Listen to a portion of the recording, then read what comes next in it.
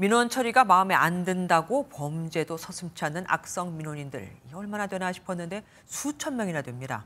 살해 협박까지 받으면서도 민원 응대 공무원들은 참는 것 외에는 할 수 있는 게 없었죠. 김민수 기자가 보도합니다. 사무실 안으로 들어온 남성이 앉아있던 직원에게 다가가더니 지팡이를 휘두릅니다. 전몰 군경 자녀에게 지급하는 수당과 관련해 불만이 있다는 이유로 벌어진 일입니다. 담당 공무원을 12차례 폭행했던 남성은 현행범으로 체포됐고 재판에 넘겨졌습니다.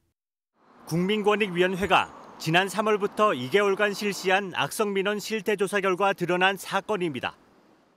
중앙행정기관, 지자체, 시도교육청의 일선 공무원들이 악성 어, 상습 반복적인 민원이나 아, 폭행, 협박 등으로 상당한 고통을 받고 있는 것으로 나타났습니다.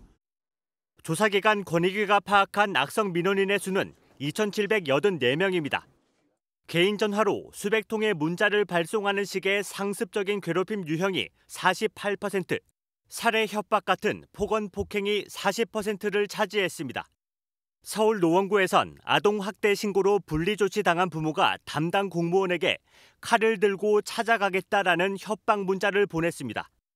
부산 북구에선 행정 처리가 마음에 안 든다는 이유로 염산을 뿌리겠다라며 살해 협박까지 했던 사례도 있었습니다.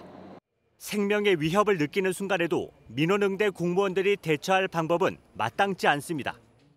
저한테 욕설과 폭언 계속 하시면서 이제 다가올 때마다 막 우는 정도의까지밖에 역할을 할 수가 없었습니다. 그래서 그런 위협적 행동에 대해 수위가 올라가고 그럼에도 악성 민원 대응 교육이 이뤄진 기관은 절반이 안 되고 그마저도 악성 민원 대응과 상관없는 내용이 대부분이었습니다. 권익위는 오는 11일 연수회를 시작으로 악성 민원 대응 방안을 관련 기관과 협의할 계획입니다. 엠베 뉴스 김민수입니다.